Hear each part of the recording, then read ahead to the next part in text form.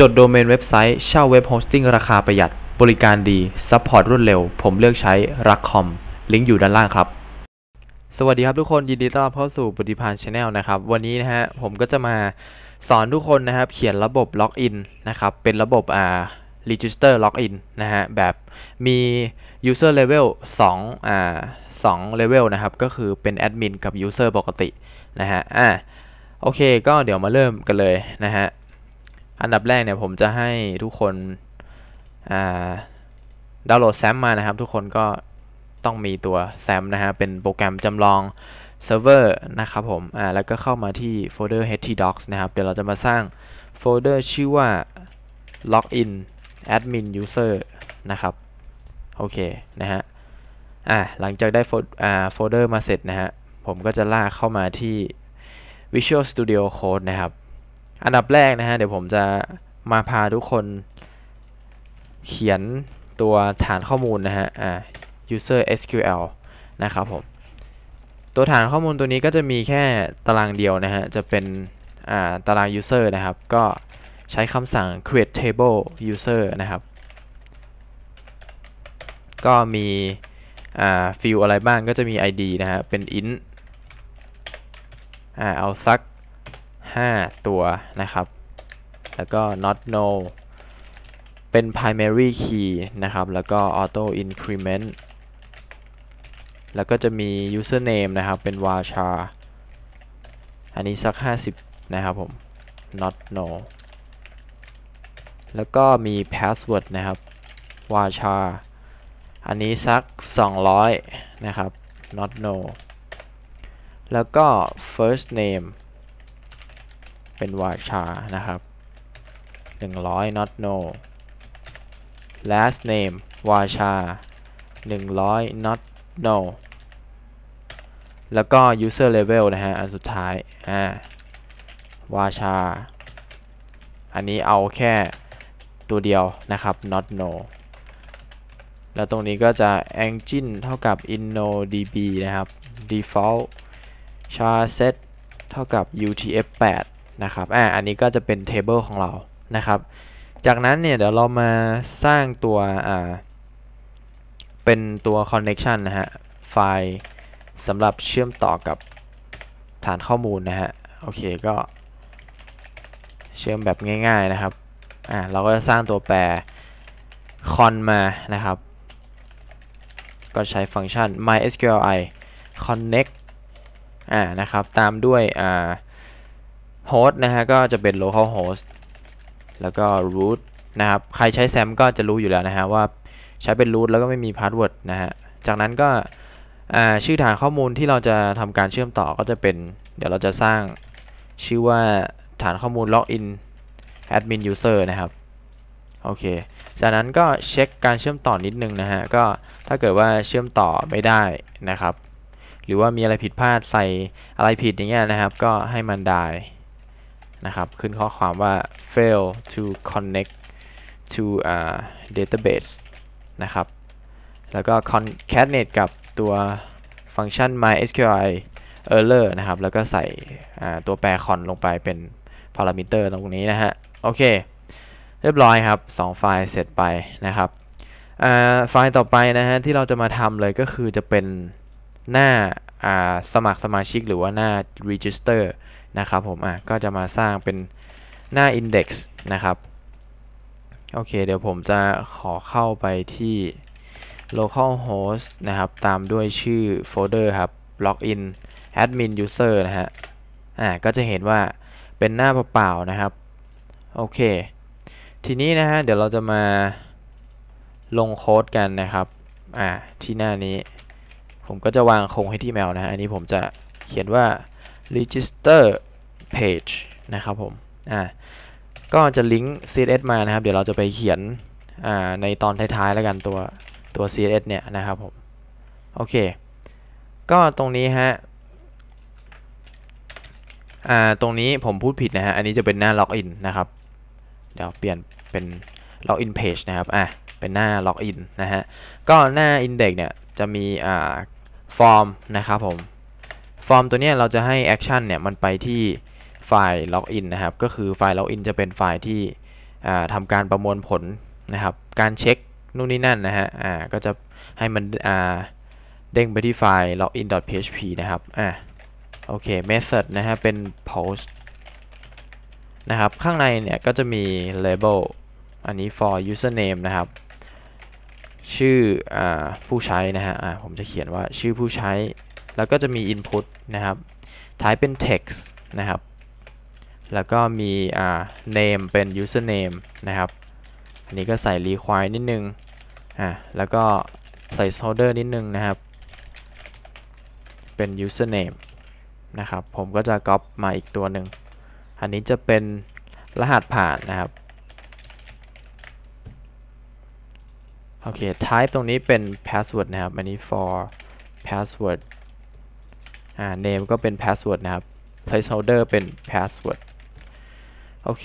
นะครับ เดี๋ยว br มันเว้นบรรทัดหน่อยนะครับ จากนั้นก็จะมี input เป็น type submit นะครับ เอาไว้กด submit นะฮะ อ่า ตัวนี้ก็จะเป็น name อ่า submit นะครับ value ข้อความในปุ่มนะฮะ ก็จะเป็น login นะครับผม โอเค ทีนี้ผมจะสร้างแท็ก A นะฮะ อ่าไอตัวนี้จะให้ลิงก์ไปที่หน้า register.php นะครับอ่าก็ถ้าใครยังไม่ได้ทำการสมัครสมาชิกก็ให้คลิกที่ลิงก์นี้นะครับ จะได้เด้งไปหน้าสมัครสมาชิก โอเคนะครับอ่าเดี๋ยวมาดูหน้าตานะครับ ก็ในโปรเจกต์นี้เนี่ยเดี๋ยวผมผมจะไม่ได้พามาทำ UI แบบว่าอลังการอะไรนะครับ เพราะว่าอ่า คีย์สำคัญเลยก็คือตัวระบบนะครับ ถ้าเราเข้าใจระบบเนี่ย เรื่องพวก UI อะไรเนี่ย เดี๋ยวเขาเดี๋ยวเราค่อยไปทำที่หลังได้นะครับ อะ ก็หน้าตามันก็อาจจะดูไม่สวยนะฮะ ก็ยังไงก็ ไม่เป็นไรเนาะนะครับ ก็ถ้าใครดูอ่าโปรเจกต์นี้จบดูคลิปนี้จบก็ค่อยไปทำเขียน CSS อะไรให้มันสวยงามขึ้นก็ได้นะครับ แต่นนี้เอาระบบก่อนหลักๆนะครับ โอเค ก็หน้า Index นะฮะ เรียบร้อยนะครับผม ต่อไปเนี่ยเดี๋ยวเราจะมาทำหน้าอ่าเป็นหน้า register นะครับอ่าหน้า register นี่แหละ หน้าสมัครสมาชิกนะฮะ register.php นะครับผม โอเคก็ตรงนี้นะฮะเดี๋ยวผมจะวางอ่า html โครงมันนะฮะ title ก็เขียนว่า register page นะครับ แล้วก็จะลิงก์อ่า css มานะครับ ซึ่งตอนนี้ยังไม่มีนะฮะ เดี๋ยวเราจะค่อยไปเขียนที่หลัง นะครับโอเคอ่าหน้า register เนี่ยก็จะมีฟอร์มเหมือนกันนะครับอะเราก็สร้างเลยฟอร์ม action เนี่ยผมอ่าจะให้มันทำงานอ่าอยู่ในหน้าของมันนะครับ ไม่ต้องเด้งไปที่หน้าอื่นก็จะใช้เป็น php อย่างนี้นะฮะ echo server php underscore self อย่างนี้นะครับ อ่า ก็คือไม่ต้องเด้งไปหน้าไหนนะครับ ทำงานอยู่ภายใน อ่า ไฟล์ของมันเองนะครับ method เนี่ยจะเป็น post นะฮะ อ่า โอเค ข้างในนี้ก็จะมีอ่า label นะครับ เป็น username username แล้วก็มี input นะฮะ type เป็น text นะครับ name เป็น username placeholder username อ่าเขียนว่า enter enter your username แล้วกันนะครับอะใส่ require ไปนิดนึงนะครับตรงนี้ผมก็จะ br อะแล้วผมจะก๊อปก๊อปมานะครับอีกอ่าหนึ่งสองสามตัวนะครับผมอะก็จะมีอันนี้จะเป็น password นะครับอ่า for password type เป็น password นะครับอะก๊อปมาเลย name password placeholder enter your password นะครับอะส่วนตรงนี้เนี่ยจะเป็นชื่อนะฮะชื่อ ชื่อจริง first name นะครับ แล้วก็จะมีนามสกุลนะฮะ last name ตรงนี้ก็ for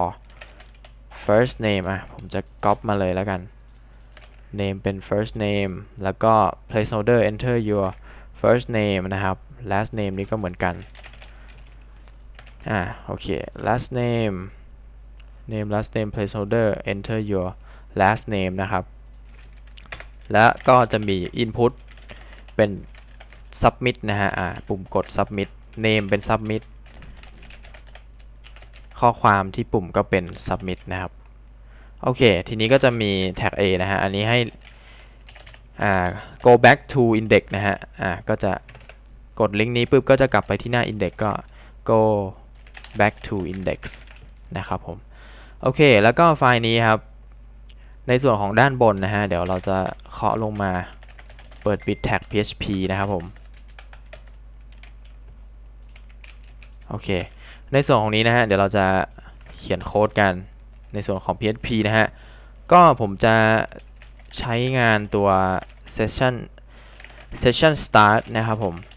อ่าปึ๊บ เพราะว่าเรามีการใช้งาน session นะฮะ ก็จะต้องกำหนดไว้ด้านบนนะครับผม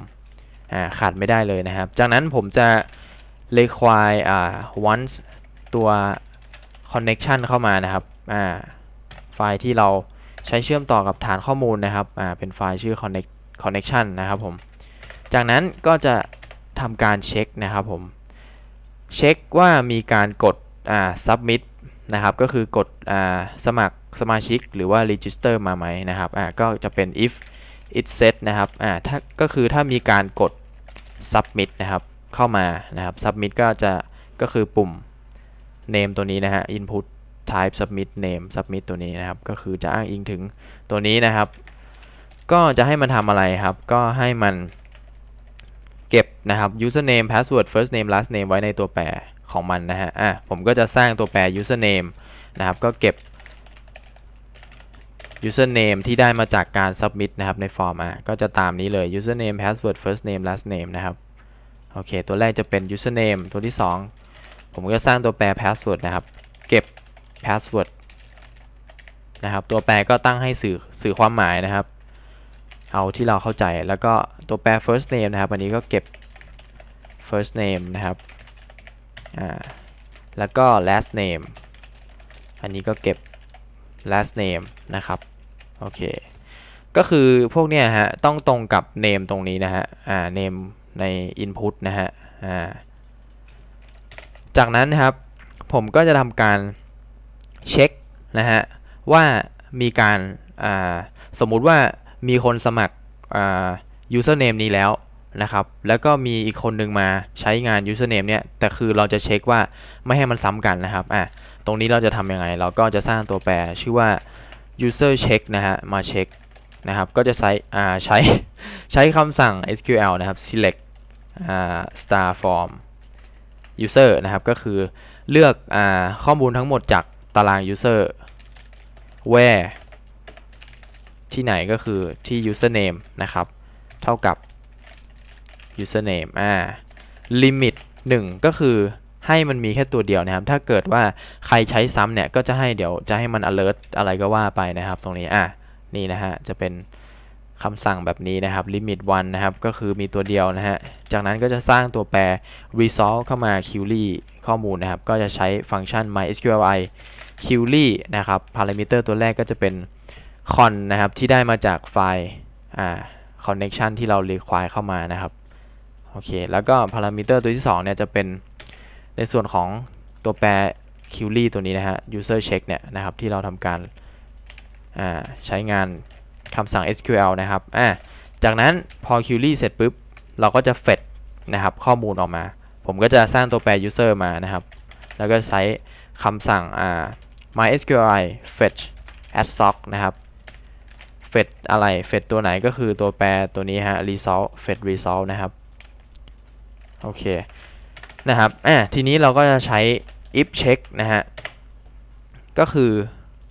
เช็คว่าอ่า user นะครับ ก็คือมันเฟดมาในรูปแบบของ array นะครับอ่าอันนี้จะเป็นการเข้าถึง array เป็น index array username นะครับอ่า user username นะครับ ถ้าเกิดว่ามันเท่ากับ username ที่คนใช้เข้ามาเนี่ยนะครับ ที่กด submit มาเนี่ยนะครับ ก็ให้ทำการ alert นะครับผมจะใช้เป็นตัว JavaScript นะฮะ ก็ใช้เป็น script tag อย่างนี้นะครับอ่าก็ alert ใช้ฟังก์ชัน alert นะฮะ alert ว่า username อ่าตัวนี้ใช้เป็น single quote แล้วกัน username already exists นะครับผม อ่า ก็คือมีชื่อผู้ใช้งานคนนี้อยู่ในฐานข้อมูลแล้วนะครับ อ่า แต่ถ้าเกิดว่า อ่า ไม่มีนะครับ ก็จะให้มัน insert ข้อมูลลงไปในฐานข้อมูลปกตินะครับ อ่า โอเค else ตรงนี้ก็ถ้าเกิดว่าใช้งาน username ใหม่ที่ไม่ซ้ำกับที่ อ่า รับเข้ามาเนี่ย ก็จะให้ทำการ เข้ารหัส password นะครับ อ่า อันนี้ผมจะสร้างตัวแปร password enc นะครับ encrypt นะครับ ย่อมาจาก encrypt นะฮะ ก็เราจะใช้ฟังก์ชันเป็น md5 นะครับ อ่า เข้ารหัสตัวแปร password นะครับ ก็จะเอาตัวแปร password มาไว้ในฟังก์ชัน md5 นะครับ อ่า แล้วก็เก็บไว้ในตัวแปร password enc อันนี้ก็คือ password เนี่ย ก็จะทำการเข้ารหัสนะครับ ถูกเข้ารหัสเรียบร้อยนะครับ ทีนี้เราก็ทำการสร้างตัวแปร query มาก็คือ insert ข้อมูลลงไปในตาราง user นะครับ insert into user นะครับ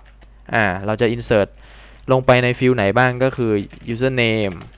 password first name last name แล้วก็ user level นะครับอ่ายกเว้นทุกคนจะเห็นว่าผมจะไม่อ่าเขียนในตัว user id นะครับ อ่าตอนนี้เรายังไม่ได้อันนี้ใช่ไหมอะก็คือเนี่ยในตารางเราเนี่ยจะมี ID ครับจะเห็นว่าผมไม่ได้ใส่นะครับ เพราะว่า ID เนี่ยมันเป็น auto increment อยู่แล้วนะครับ เวลาเรา insert เข้าไปปุ๊บเนี่ย มันก็ทำการอ่าเขาเรียกว่าเพิ่มจำนวนโดยอัตโนมัติอยู่แล้ว ก็ไม่จำเป็นต้อง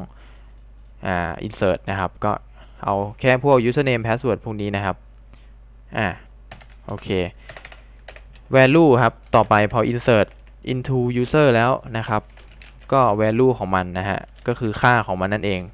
ค่าของมันเนี่ยก็จะได้มาจากพวกตัวแปรที่เรารับเข้ามานะครับ อ่า ก็จะใช้เป็นอย่างนี้นะฮะ single quote ตามด้วยชื่อตัวแปรนะครับ อ่า ก็จะมี username มี อ่า password นะครับ ตัว password ตัวเนี้ยเราจะต้องใช้เป็นตัวนี้นะฮะ เพราะว่าไอตัวเนี้ยมันได้ทำการเก็บ password ที่มันถูกเข้ารหัสมาเรียบร้อยแล้วนะครับ ก็จะใช้เป็นตัวนี้นะ อ่าก็ก๊อปมานะครับ ถ้าเกิดว่าเราใช้เป็นตัว password ตัวเนี้ยก็ระบบอาจจะขึ้นว่ารหัสผ่านไม่ถูกต้องได้นะครับผมโอเคก็อันนี้จะเป็น first name นะฮะอ่าแล้วก็ last name นะครับ ทีนี้ตัวสุดท้ายเนี่ยจะเป็น user level อันนี้ผมจะใส่ค่า default ให้มันก็คือ m m นี้ก็คือ member นะฮะ ก็ทุกคนเนี่ยที่สมัคร นะครับ จะได้ user level เป็น member เดี๋ยวเราค่อยไปกำหนด user level เป็น admin ในฐานข้อมูลอีกทีหนึ่งนะฮะ เพราะว่าอันนี้ผมก็จะให้คนที่มาสมัครทุกคนเนี่ยเป็น member นะครับ ยกเว้นเราไปกำหนดในฐานข้อมูลของเรานะครับ ว่าให้ใครเป็น admin อ่านะครับ จากนั้นพอ insert เสร็จปุ๊บเนี่ย เราก็จะทำการสร้างตัวแปร resolve มา query ข้อมูลนะครับ ก็ใช้ฟังก์ชัน mysqli query นะครับ ก็ con แล้วก็ query นะฮะอ่าก็ตามสเต็ปนะครับโอเคนะฮะจากนั้นก็จะมีการเช็ค if นิดนึงนะครับ ก็คือถ้าเกิดว่าอ่าอ่าทำการ query ข้อมูลเรียบร้อยแล้ว ผมก็จะให้อ่าทำการเอาตัวแปร session นะฮะ อ่า ก็คือ session success นะครับ อันนี้ผมจะเก็บข้อความไว้ในตัว session ตัวนี้นะฮะ ก็เก็บข้อความว่า insert user successfully นะครับอ่าจากนั้นก็ให้ทำการ redirect นะครับ ไปที่หน้า index อ่า else นะครับ ถ้าเกิดว่ามีอะไรผิดพลาดนะครับ ก็อ่าผมจะสร้าง session error ขึ้นมานะครับ เก็บข้อความว่า something went wrong นะครับ โอเค ถ้าเกิดมีอะไรผิดพลาดนะฮะ แล้วก็ redirect ไปที่ ตัวหน้า index นะครับตรงนี้ผมเขียนผิดนะ เกือบแล้วอ่าเรียบร้อยนะครับผม เดี๋ยวลองเช็คอ่าโอเคนะฮะเรียบร้อย แล้วลองมาทดสอบระบบกันดูไหมนะครับ โอเคก็เดี๋ยวมาดูที่ระบบนะฮะอ่าตอนนี้ก็เรายังไม่ได้ทำการเขียนไฟล์ล็อกอินอะไรเลยนะครับ เดี๋ยวเราจะมาทดสอบ register กันดีกว่านะครับอะตอนนี้ยังไม่ได้สร้างฐานข้อมูลเนาะอะเดี๋ยวกด new นะฮะ ชื่อฐานข้อมูลชื่อว่า login admin user นะครับ ถ้าใครกลัวผิดก็ไปก๊อปมาจากตรงนี้ได้นะฮะ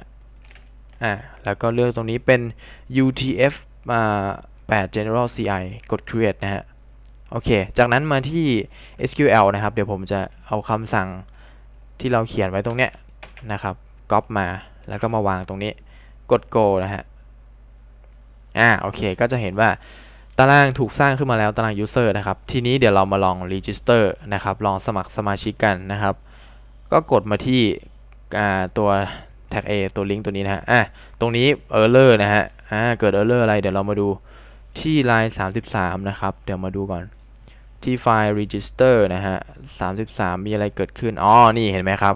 นี่คือความผิดพลาดที่ ที่คนส่วนใหญ่ชอบนะครับ ผมก็ชอบเป็นนะฮะ ก็คือลืมใส่เซมิโคลอนนั่นเองนะครับ โอเค ก็ อ่า นี่ใส่เรียบร้อยแล้วนะครับ โอเค เดี๋ยวเรามาลองสมัครกัน อันนี้ผมก็จะเอา username เป็นโอมแล้วกัน password เป็น 1 2 3 4 นะครับ อ่า first name ปฏิพาน last name เพลงเผากด submit นะฮะจุ๊บอ่า ก็คือตรงเนี้ย เห็นไหมครับว่าไม่มี error ไม่มีอะไรเกิดขึ้นเลย ก็คือเรียบร้อยนะฮะถูกต้องเดี๋ยวมาดูในฐานข้อมูล refresh อ่าก็จะเห็นว่าเห็นไหมครับว่าข้อมูลถูกอ่าเพิ่มเข้ามาในตัวตาราง user และเลย password ก็ถูกเข้ารหัสนะครับนะก็ครบนะ id username password first name last name แล้วก็ user level เป็น m นะครับอ่า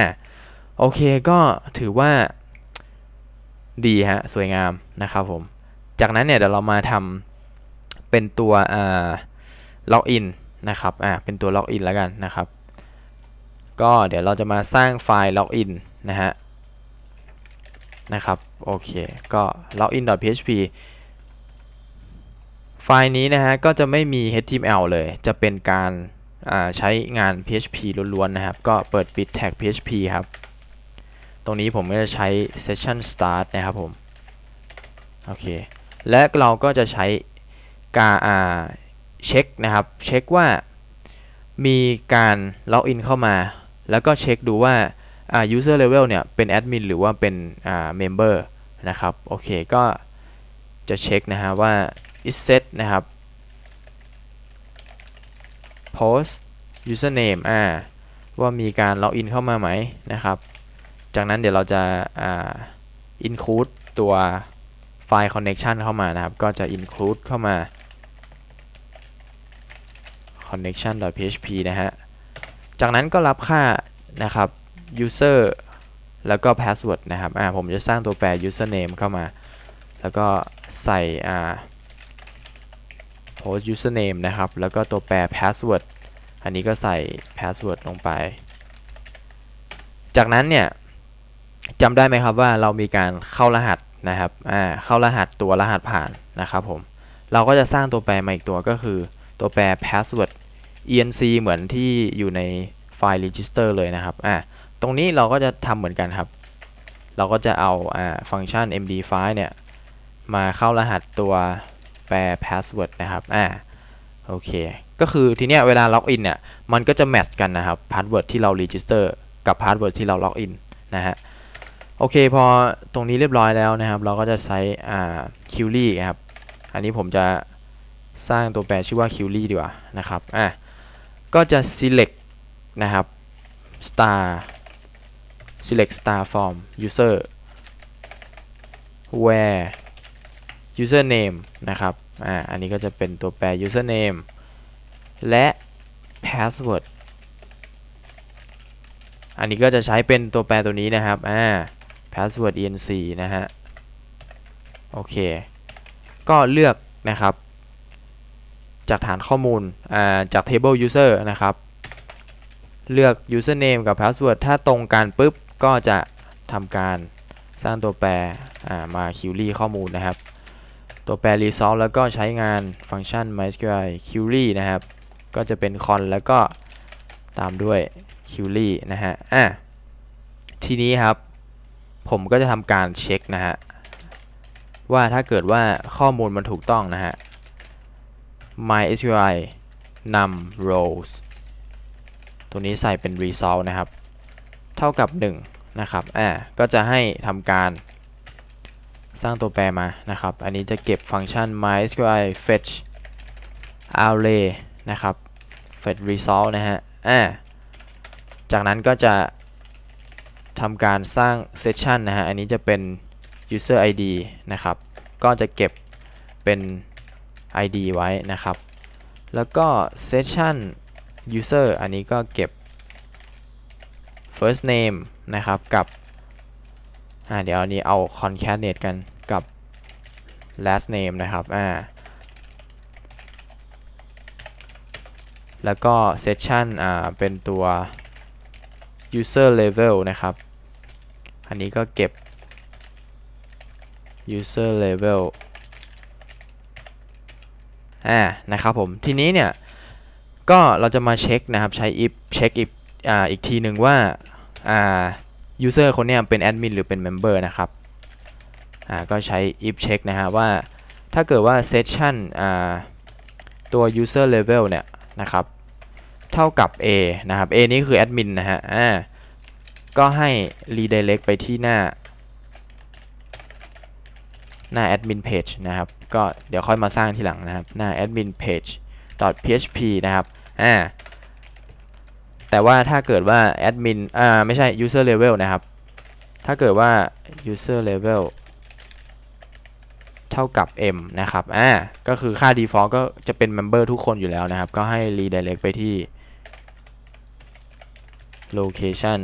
หน้า user นะครับผม อ่า user page php นะครับ เดี๋ยวเราจะมาสร้างที่หลัง นะครับผม โอเค ทีนี้ถ้าเกิดว่า password หรือว่า user หรือ password ผิดเนี่ยนะครับ อ่า ตรงนี้เนี่ย ตรง if ตรงนี้นะฮะที่เราเช็ค อ่า เราก็จะ else นะครับ ว่า echo นะครับ ใช้เป็น javascript เหมือนเดิมฮะ script อ่า ตรงนี้ alert alert ว่า user หรือ password ไม่ถูกต้องก็ได้นะครับผม อ่าโอเค จากนั้นตรง if ตรงนี้นะฮะอ่าที่เช็ค ตรงนี้ก็จะ else นิดนึงนะครับ พอ login เสร็จแล้วก็ให้มัน redirect ไปที่ index นะครับผม index.php นะครับ อ่า โอเค ทีนี้ถ้าเกิดว่าผม login เนี่ย เมื่อกี้ผมใช้ชื่อผู้ใช้โอมใช่ไหมแล้วก็รหัสผ่าน 1 2 3 4 login นะครับ อ่า ตรงนี้เดี๋ยวก่อน ตรงนี้มีอ่า error นะฮะ ที่ line 17 นะครับผม 17 17 ผมเขียนอะไรผิดหรือเปล่าตรงนี้ หรือว่าผมยังไม่ได้สร้างหน้าอ่าแอดมินกับ user นะครับ โอเค อะ เดี๋ยวน่าจะใช่นะครับ เพราะว่าเรายังไม่ได้สร้างหน้า user กับ admin นะครับ โอเค ก็เดี๋ยวมาสร้างหน้า user ก่อนนะครับ user underscore page php นะครับโอเค ตรงนี้ผมก็จะใช้งานเปิดปิด tag php นะครับ ก็ session start นะครับ ตรงนี้เพราะว่าเรามีการใช้งาน session นะฮะ อย่างที่บอกไปนะครับ ตรงนี้จะเช็คนิดนึงนะครับว่า ถ้าเกิดว่าอ่าไม่มี session อ่า user id นะครับ ก็ให้ redirect ไปที่หน้า index นะฮะ แต่ว่าถ้ามีเนี่ย else นะครับอ่าตรงนี้เราจะตัดปีกาออกไปนะฮะอ่าแล้วก็มาวางตรงนี้นะครับโค้ดระหว่างเนี้ยนะครับ เราก็จะให้มันแสดงเป็น HTML นะครับ อันนี้ผมก็จะเขียนว่า user page อะตรงนี้จะลิงก์ css มานะครับ style.css ในส่วนของ body เนี่ยนะครับ ผมก็จะใช้ h1 นะครับ ว่า you are member นะครับ แล้วก็ tag p นิดนึงนะฮะอ่าข้างในก็จะมี strong ว่าอันนี้ผมเอาเป็นเป็น h3 ดีกว่านะครับ ว่า high นะครับผม แล้วก็อ่า colon ตามด้วย php echo session user นะครับ อ่า ก็คือ echo ชื่อจริงกับนามสกุลนะครับ อ่า ที่เราเนี่ยครับ ที่เราทำการ concatenate เนี่ย row first name กับ last name ไว้เก็บไว้ที่ session user ตัวนี้ครับ เราก็เอามาใช้นะอ่าเราก็เอามา echo ที่ตัวนี้นะครับ มันก็จะแสดงชื่อจริงกับนามสกุลออกมานะครับ โอเคนะฮะ จากนั้นนะครับก็ถ้าเกิดว่าต้องการที่จะล็อกเอานะครับ อะผมก็จะสร้าง เดี๋ยวตอนนี้ยังไม่ได้สร้างไฟล์ logout นะฮะ อ่าก็เขียนไว้ก่อน logout.php นะครับ อ่า ตรงนี้ก็จะเป็น logout นะครับผม โอเคเรียบร้อยนะครับ เดี๋ยวเราลองมาทดสอบดูใหม่นะฮะ ก็ล็อกอินนะฮะ อ่าตรงนี้ผมน่าจะเขียนอะไรผิดไปจริง ๆ ด้วยนะครับ เดี๋ยวลองมาดูแป๊บหนึ่งโอเคครับผมคิดว่าผมเจอตัวปัญหาแล้วนะครับตรงอ่าทุกคนลองมาดูตรงนี้นะฮะ query select star from user where user เนี่ย สังเกตว่าตรงเนี้ย where user เนี่ยคืออะไรครับ จริงๆ เราต้องใส่เป็น username นะฮะอ่ามันน่าจะหาไม่เจอนะฮะ หาตัว field username ไม่เจอที่อยู่ในฐานข้อมูลนะฮะ เมื่อกี้ผมเปิด stack overflow ดู แต่ว่าลองมาดูโค้ดอีกทีอ้าวเราเขียนผิดนี่ว่านะครับผม โอเค ก็มันหาตัวนี้ไม่เจอนะฮะ น่าจะใช่ อ่า นะครับ เรียบร้อยนะฮะ อ่า you are member นี่เห็นไหมครับ ให้ปฏิพันธ์เพียงเผาก็ที่เรา echo ออกมานะฮะ session user ตัวนี้นะครับ ทีนี้ถ้า log out นะฮะ log out ก็ยังไม่ได้นะครับผม เพราะว่าเรายังไม่ได้สร้างไฟล์ log out นะ เดี๋ยวมาทำกันแล้วกันนะครับ new file log out .php นะฮะ log out นี่ก็ง่ายมากนะฮะ ไฟล์ log out เนี่ย ก็เปิดปิดแท็ก php ฮะ แล้วก็ session start ก่อนเลยนะครับ จากนั้นก็ session destroy นะครับผม แล้วก็ให้ redirect ไปที่ location index.php นะฮะ อ่า ง่ายๆ เห็นไหมครับ ง่ายมากนะครับ log out log out อ่า เห็นไหมนะครับ มาที่หน้า index แล้วนะครับ ทีนี้เราเหลืออะไรครับ เราเหลืออะไร เราเหลือหน้า admin ใช่ไหมครับ อ่า หน้า admin ก็ เดี๋ยวเรามาทำหน้า admin ก็เหมือนกับ อ่า หน้า user เลยนะครับ ก็เดี๋ยวผมจะ copy มาเลยแล้วกันนะ นะครับ copy มาเลยแล้วก็ สร้างไฟล์ admin underscore page php วางนะครับ ตรงนี้เราก็เช็คเหมือนกันนะครับ อ่า user id ตรงนี้ปุ๊บก็มาเปลี่ยนแค่ตรงนี้ฮะ title admin page u r admin นะครับผม อันนี้ก็จะ อ่า echo ตามปกตินะฮะ เปลี่ยนแค่นี้ครับ อ่า โอเค เดี๋ยวผมดูก่อนขาดอะไรไหมนะครับ จึ๊บจึ๊บจึ๊บอ่าอ๋อ ขาดสไตล์นะฮะ โอเค เดี๋ยวเรามาใส่ CSS กันหน่อยนะครับ แล้วก็ตรงหน้า Index ตรงนี้เดี๋ยวผมจะให้เราทำแบบว่า ถ้าเกิดเวลาเราล็อกอินเรียบร้อยใช่ไหมครับ ก็จะขึ้นไอเขาเรียกว่าอะไร เป็น success นะฮะ เป็น success แต่ถ้าเกิดว่ามี error ก็ให้ขึ้น error เหมือนคล้ายๆกับป้ายนะครับ เป็นแบบ alert นะครับ เป็นป้ายแดงกับป้ายเขียวอะไรเงี้ยนะครับผม โอเค ก็ในส่วนของ ตรงหน้า index นะฮะอะเดี๋ยวเราเดี๋ยวเรามาใส่ css กันก่อนดีกว่านะครับ ก็สร้างไฟล์ style.css นะฮะ โอเค ในส่วนของนี้ผมก็จะ reset browser นะฮะ padding 0 box sizing border box นะครับ โอเค ในส่วนของ body เนี่ย body ก็ให้อ่า text align center นะฮะ ให้มันอยู่ตรงกลางให้หมดเลย นะครับ input เนี่ยผมจะให้มันมีขนาด padding สักบนล่าง1 rem ซ้ายขวา3 rem นะฮะ แล้วก็ head 1เนี่ย margin 1 rem นะครับ อะก็จะเห็นว่าอย่างนี้นะ อะเดี๋ยว body ใส่ margin top ไปด้วย สัก5 rem นะฮะ ให้มันขยับลงมาด้านล่างหน่อยนะครับ โอเค ก็จะเห็นว่าได้แบบนี้แหละนะครับ ทีนี้นะครับเราจะมีเป็นคลาส error กับ success นะฮะ อ่าก็เดี๋ยวจะสร้าง success ก่อนนะครับ ก็คือจะที่บอกว่าจะเป็น alert นะครับ เวลาเราสมัครสมาชิกเสร็จก็จะขึ้น alert เขียวๆว่าอ่า success แล้วที่เดี๋ยวเรามาดูกันว่ามันเป็นยังไงนะครับอะก็ขนาดเนี่ยผมจะให้สัก 50%นะฮะ แล้วก็จัดกึ่งกลางด้วย margin 0 auto นะครับ จากนั้น padding ก็สัก 10 พิกเซล border 1 px solid สีจะเป็น 3 c 7 6 3 d นะฮะ color ก็จะเป็น 3 c 7 6 3 d เหมือนกันนะครับอ่า background อันนี้จะเป็นสี dff 0 d 8 นะครับอ่าแล้วก็ border radius 5 พิกเซลนะครับ text align center นะครับ margin bottom 20 พิกเซลอ่าโอเค ทีนี้ก็เหลือแต่ตัว alert นะครับ อ่า class alert ตัวนี้ อ่าไม่ใช่ class alert error error นะครับ class error นะฮะโค้ดสีตรงนี้ก็จะเป็น a อ่า a 9 4 4 4 2นะครับอ่า color ก็เหมือนกันก๊อปมา ส่วน background จะเป็น f 2 d de de นะครับ โอเคก็แค่นี้นะครับอ่าแล้วก็มาที่หน้า index ครับ ตรงนี้เดี๋ยวจะเพิ่มอ่า session ไปนิดนึงนะครับไอตัวเนี้ย session เนี่ยมันจะได้มาจากตรงนี้นะฮะอ่าก็คือตอนที่เราทำการ insert ปุ๊บ query เสร็จปุ๊บก็จะอ่าเช็คนะครับว่า ถ้าเกิดว่ามันโอเคนะครับ result เนี่ยอ่าก็คือ query อะไรเรียบร้อยปุ๊บนี่ฮะเรามีอ่า session success เก็บข้อความว่า insert user successfully ไว้นะครับ แต่ถ้าเกิดมี error ก็นี่ครับ session error ข้อความว่า something went wrong นะครับอะทีนี้มาที่หน้า index นะฮะ เราจะใช้งาน session ตัวนี้ก็อย่าลืมครับ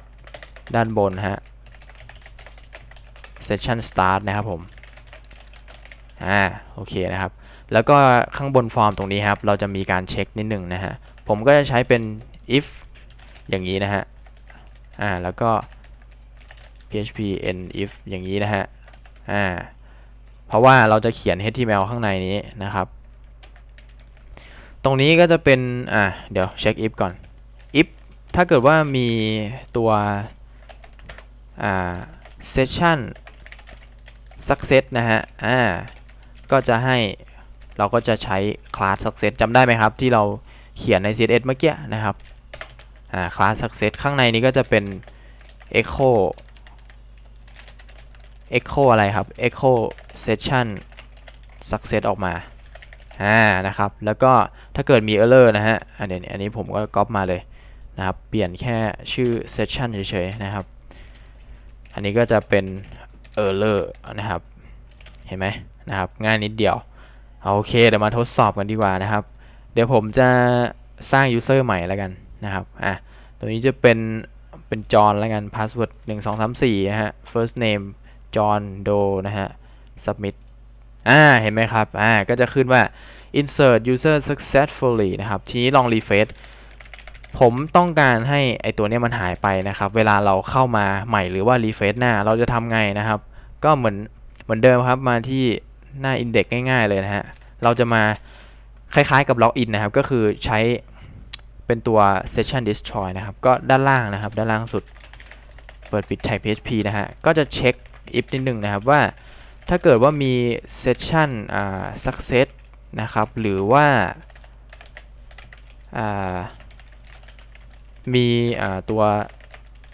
session error นะฮะ ก็ให้ทำการ session destroy มันซะ แค่นี้ก็จบนะครับ อ่าทีนี้ลองมา refresh เห็นไหมครับว่าหายไปแล้วนะครับ เมื่อกี้ผมสมัครสมาชิกใหม่ใช่ไหมลองมาดูในฐานข้อมูลครับ ก็จะเห็นว่านี่ฮะอ่าจอนก็เข้ามาแล้วเดี๋ยวลองล็อกอินดูอ่าจอนใช่ไหมครับหนึ่งสองสามสี่ล็อกอินอ่านะครับก็ you are member hi John Doe log out นะครับโอเคทีนี้เดี๋ยวเรามาดูที่หน้าแอดมินดีกว่านะครับเดี๋ยวเราอ่าผมจะกำหนดให้ user โอมเนี่ย user level เนี่ยเป็นแอดมินก็คือเป็น A นะครับอะมากด edit ตรงนี้นะฮะตัว user level ตรงนี้ฮะเปลี่ยนเป็น A นะครับ go แล้วกด go นะฮะ อ่าก็คือไอคนเนี้ยไอโอมเนี่ยเป็นแอดมินแล้วทีนี้ผมลองผมลองล็อกอินดูฮะมันจะไปหน้าแอดมินไหมนะครับก็ชื่อผู้ใช้โอม ตอนแรกไปหน้า member ใช่ไหมครับอ่าตอนนี้คุณเป็นแอดมินแล้วนะครับคุณได้สิทธิ์เข้าไปที่หน้าแอดมินแล้ว รหัสผ่าน 1 2 3 4อ่าเห็นไหมครับ ทีนี้มันก็มาหน้าแอดมินแล้วเป็นไงครับ นี่ระบบอ่าล็อกอินนะครับ register login แบบ แบ่งสถานะนะครับ user กับ admin นะฮะก็จะประมาณนี้นะครับผมยังไงก็ใครที่จะเอาไปต่อยอดก็ลองเอาไป